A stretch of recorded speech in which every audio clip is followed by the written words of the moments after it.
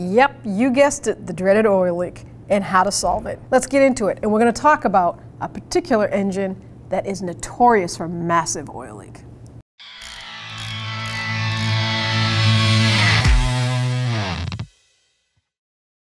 So the first thing I want to talk about is obviously the oil level. So you got to open the hood and check your oil level out. And from the top here, you can look around and see if you see anything else, you know, like massive oil on the top. Sometimes you'll get some blow by, but first thing I'm going to do is definitely look into the hood. And the nice thing about it being a Jeep is we're going to open this thing all the way up right to there. And uh, there it is. There's the 3.6. We have an engine cover, so unfortunately we have to take that off. Not unfortunate, it's pretty easy. But there it is. So the first thing you want to do is check your oil level. No matter what vehicle it is, you always want to make sure you have the proper amount of oil. So therefore you're, you don't want to diagnose and then have your engine start knocking, right? So let's check our oil level. Vehicle's been shut off for probably about a good half hour now. So this is going to be a good indicator of the proper oil level. It's not like it's still really hot and it was running. So let's see where we're at. Yeah, holy moly. Look at that. There is nothing on that dipstick. Nothing. Let's get some oil, put some oil in it so we can do a better diagnostic. I'll do one quart and then check it. And then we'll go from there. All right, so three quarts in. Let's see where we're at on the stick now. All right, perfect. It's right there at the very top of the X's. That means that this thing took three quarts. And it takes six to fill it. That's three quarts shy of being empty. Uh, they couldn't have come a moment too soon to get this fixed and solved because if they ran out of oil, well, we'd be talking more about than an oil leak, wouldn't we? So now we're going to take a flashlight and we're going to look around the top before we run it to see if there's any massive pouring out. Let's see if we have any indicators of where puddles could be. Well, I know what this vehicle is notorious for, and that will be right here, this little indicator right here, and that is the oil filter housing, and it's on a block that mounts the top of the engine block. It has little O-rings that like to leak. Now, the other key thing is, you can see down there, there is oil right down there on that engine block from this housing. And I'll show you the part because we do sell it at One Auto. It's one of our top sellers because this particular engine is notorious for this. Uh, and it's a very expensive job. But I want to show you that you can do it. It can be done. And it's close to $2,000 to R&R this at a proper garage with the part. And you could probably do it for under $400 if you do it yourself. So we see oil down there. Mm, I don't think it's a sloppy oil change because that is the filter. I'm going to go with that's leaking, but I'm going to do some secondary looking and confirm it out the back of the bell housing because that's where people get confused and think it's the valve covers. So let's go look down there.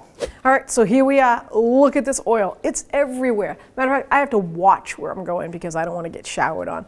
Um, geez, this is severe. It doesn't make it any easier. Some people think, well, it's pretty obvious. Yeah, it's obvious, but it's not easy to diagnose.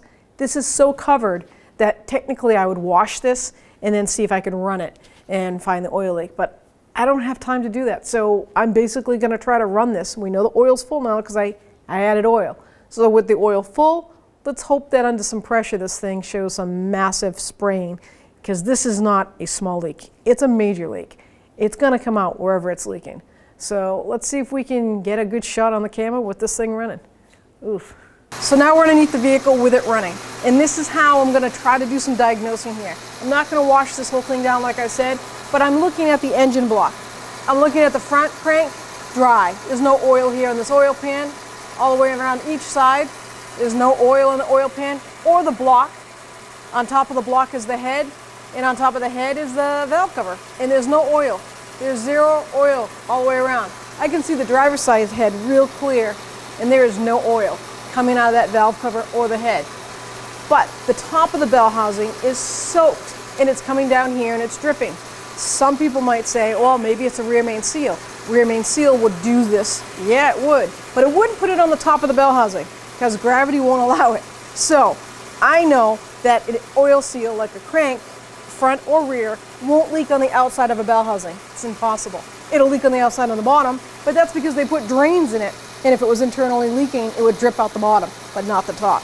So that tells me it's going to be something from the top of the engine, and the only other thing up there other than the valve covers is the oil filter housing. And that the, the lower intake does not have oil going through it. So we're focusing on this oil filter housing. That engine light is on. So let's pull the code and see if it has anything to do with this or if it doesn't. P06DD, generic code. That means it's, a, it's an actual Chrysler code. So let's see what the next one is. Same, same. Well, my experience tells me what that code is, and it's low oil pressure. So now this really sets into my mind that the oil leak is causing the engine light to come on, plus it was the loss of the three quarts of oil. So now I'm going to take the upper plenum off and I'm going to start digging down into that oil filter housing that's mounted to the top of the block, and let's see what kind of nightmare we see. All right, so I took the upper intake off, I disconnected my fuel line to the rail, all the injector harnesses, undid the bolts. Now I'm going to lift up that lower intake so we can actually see that oil filter housing and confirm that there's oil all sitting in the valley. So let's, let's see if we can get this free. And yep, exactly what I thought it was going to be. There's oil all sitting on the top of that engine block. It's coming out of the O-rings of this oil filter housing. Just going to work it. And that is definitely the oil source. Look at that. So I wanted to put them on the table. I'm usually not a display kind of person, but I had to show you this because first thing is I've done many of these jobs. This item you can get anywhere, but it comes with everything from 1A Auto. Even has the lovely oil filter. Comes with the oil filter, so all you gotta do is supply your oil because it's really important to do an oil change after you do this job. So this is the old one. Now the new one comes with all the sensors too. There's two sensors included. And I want to show you just how, what happens. These O-rings get crushed. Look how flat the surface is. It's from tightening, the torque spec, and plastic on steel. That's going to flatten out after a while. Look at the raised. You look at the new one. That's O-rings, and that's how raised up it comes. So that makes a good seal. You have an O-ring because it goes into a tube right there and it comes with the bolts. Bolts are part of the actual mechanism. Comes with the filter. You're going to torque that down to the specs. Once you get that in, torque these to specs, but you're going to clean up that mess. You have to clean that mess up. Clean it, wipe it down, make sure there's no debris around. Install this. What a difference. Now this job does call for like three, four hour job, maybe three and a half hour job. You can do it step by step. We have the videos on our website to show you, and it comes with the intake, upper and lower gaskets. You don't even have to do anything just get oil you're ready to go. All right, so I'm gonna put the uh, oil filter housing down in there, the cooler. Got the hose back on and put fresh oil on these O-rings. And this just makes a seal. It makes a nice like connection. They don't have to be doused in it. This one I hope doesn't give me any trouble because it's gonna go down in a tube. So now, snug that up. I'm gonna place it down.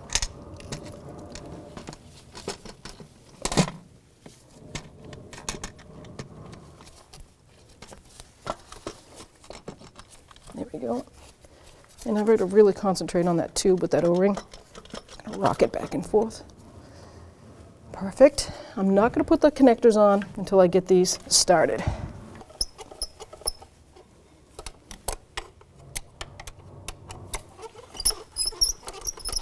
All right, so the sequence is, this is one. I'm just bottoming it out. And then two is back here. Three is the second one closest to the housing, oil filter. Then four. And then five is this one. And I'm just bottoming them out because now I'm going to get my torque wrench. Torque is 106 inch pounds.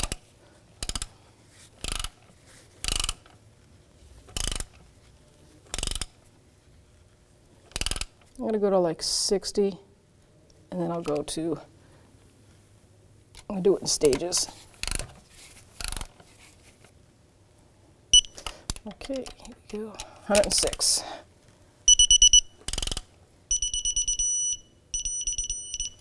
Now I'm going to connect my connectors in the back here. Lock that on. Same with this. And then push that safety lock back down. Now that I've lubed up the new filter, seal on the end and the O-ring for the cover. I'm gonna snug that down. This is a 24 millimeter socket, so we're just gonna snug it, and I'll get my torque wrench and torque it to the 24 newton meters. So now I'm to take the intake and the upper intake, so lower and upper, and I'm to clean them up, put the new gaskets in, and reinstall them. All right, so we're to put our last quart in. Get that going down in there. I've already done the coolant, so once this is all set, I'll put the engine cover on. Nah, maybe I'll run it without it, because that way I can get a good visual of everything. It's going to smoke because, well, you saw how much oil was there. So after this, once it's running, reaches temperature, I'm happy with it in the bay, I'll drive it to a car wash, do the undercarriage, get rid of all that mess. I don't recommend spraying it with parts cleaner, only because if you get that into the O2 sensor, probably end up with O2 code. So they never like parts cleaner, those sensitive O2 sensors. So be careful whenever you do that. Just let the car wash do its thing. They have a catch basin, so you don't have to worry about the oil waste either. All right, well that does it. We have fixed the leaks. We're gonna go for a road test, go through the car wash and check that list off. Don't forget if you're not a subscriber to please subscribe and ring that bell because it turns out all your notifications and you won't miss any future videos. oh, you just looked at the ceiling over here.